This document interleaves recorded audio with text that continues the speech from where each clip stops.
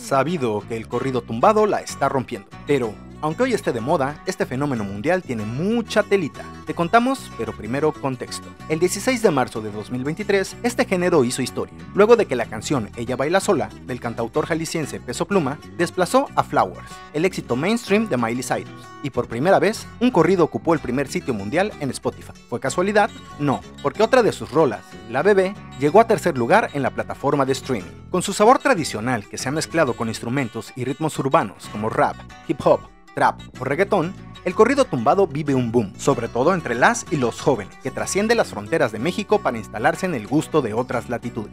Lo cultivan artistas como Natanael Cano, a quien se le atribuye el bautizo de este subgénero, Junior H, Adriel Favela, Fuerza Régida, Danny Lux, Eslabón Armado y por supuesto Peso Pluma.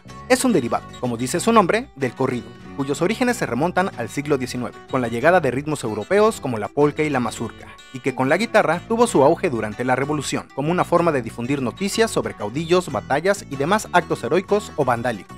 Otros instrumentos se añadieron, entre ellos el acordeón, que es esencial en el corrido norteño. Esto dio lugar a otro subgénero en la zona fronteriza con Estados Unidos, que en los años 70 y 80 ganó popularidad con canciones que hablaban del tráfico de sustancias ilegales, como Contrabando y Traición de los Tigres del Norte y otras que por su violencia y apología del delito fueron prohibidas. Y bueno, más recientemente, desde aproximadamente al 2020, el corrido ha tomado un nuevo aire con artistas jóvenes que mezclan influencias del gangster rap estadounidense, y al igual que los corridos fronterizos, narra con letras explícitas historias subterráneas de la calle, donde el poder, el dinero, las armas de fuego y la referencia a mujeres hipersexualizadas suelen ser protagonistas.